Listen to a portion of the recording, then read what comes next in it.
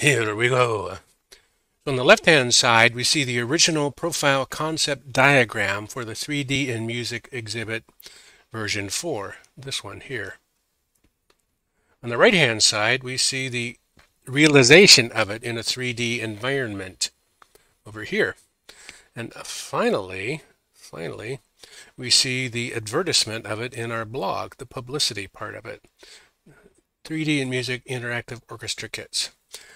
Ladies and gentlemen, this is a recap of Composing in Vision and Sound Part 15, Publicity, Float, Noticing. In today's episode, we re-entered by reflecting its we felt it's time for publicity and feedback now that the exhibit, which you just saw, has been completed and turned in four days ago. And we did that.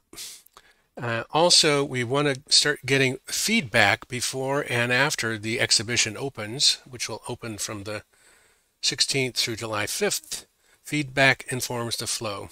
And also, we ended up developing new vocabulary labeling the parts of this exhibit. For example, um, front display, back display, left display, right display, center displays, etc., etc., etc. And we learned the power of uh, vocabulary in our music work.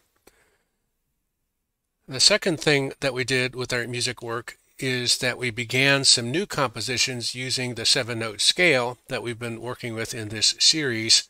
Uh, and we've christened these Float 1 and Float 3 at the moment. They are both sourced from noodling around on the piano,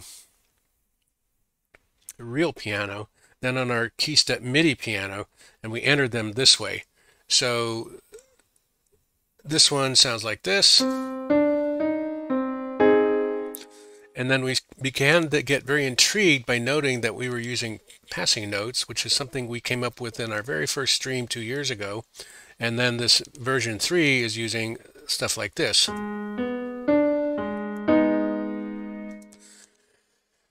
Not only that, not only that, we did a bunch of work with our um, 3D exhibit. I want to show you this.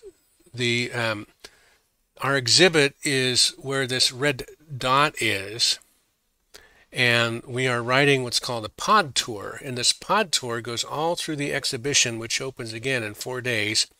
And we can only show you our part of it at the moment. But as watch watch here in the bottom right in the text area here, uh, our exhibit description will pop up. One, two, right there. Sitearm's 3D in Music Interactive Orchestra Kits.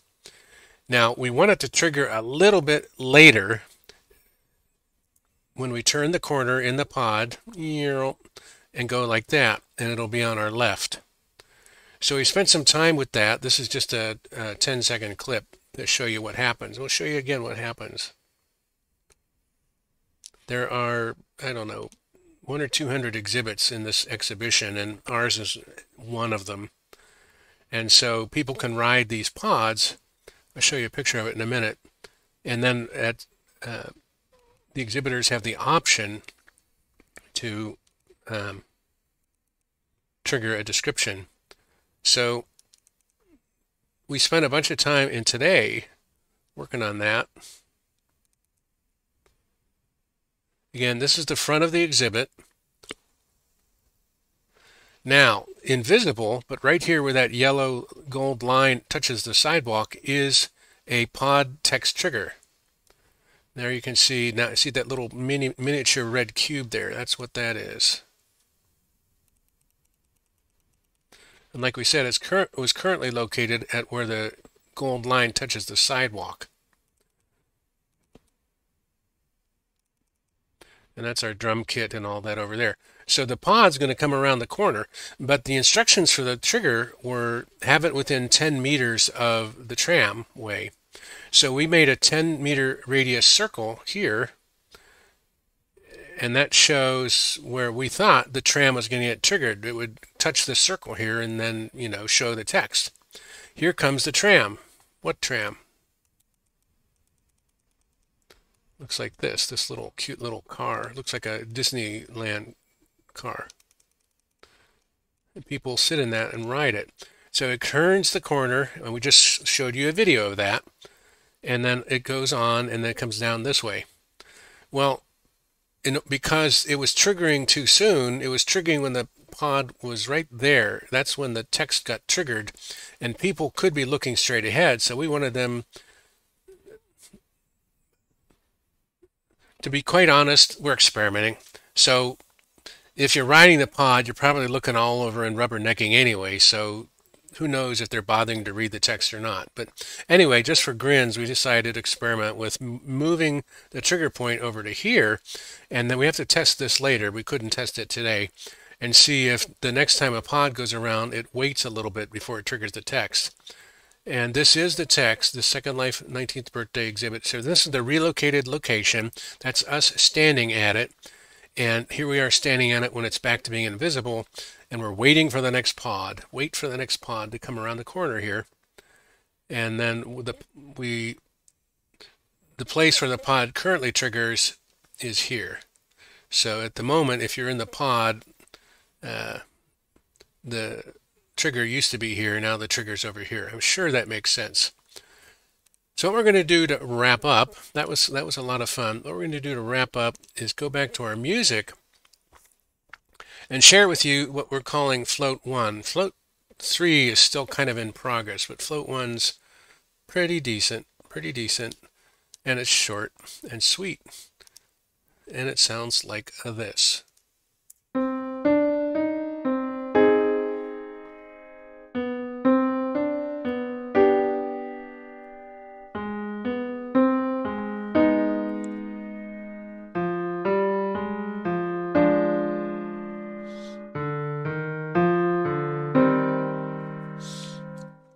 So that concludes today's stream. What we like about Float 1, we picked it out by ear from our seven note scale and then went back and analyzed it in terms of four, count them, four tonalities. Um, and that's what all this chart junk is. But the interesting point is, depending on what tonality you look at it on, it either ends on a tonic rest, or it ends on a clash ambivalent, or it ends on a floaty subdominant. So the same the same piece of music that you just heard. The other thing is these are all using 3-4 and 4-3 and 3-3 chords, which are extremely traditional Western chords. Um, and the reason we're working on Float 3 is we want to get away into a different set of chords. Uh, here's a lot more 3-3s, but we're now adding two threes and four twos and four ones. We're even adding a five one. So these are what we called extended chords when we first began working with extended composing techniques. So these, here's one of those nice, you know, pretty chords. But here's one that's more dissonant. And this one. So it it's almost jazzy. I mean, when jazz came along, it was a big deal because they were using dissonant chords that traditional classical Western music shunned.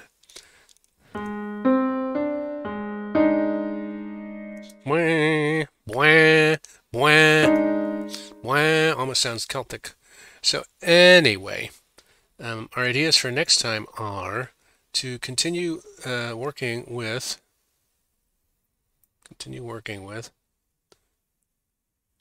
publicity for the 3D in Music 4 uh, we'd like to, once it opens, we're going to do some individual and group tours and record them and continue composing with our seven note scales using Float 3 and beyond. Shout outs to Miss Cleo, who inspires us, Mr. Spats, who annoys us, but in a friendly way. Silent Lurker, we appreciate you.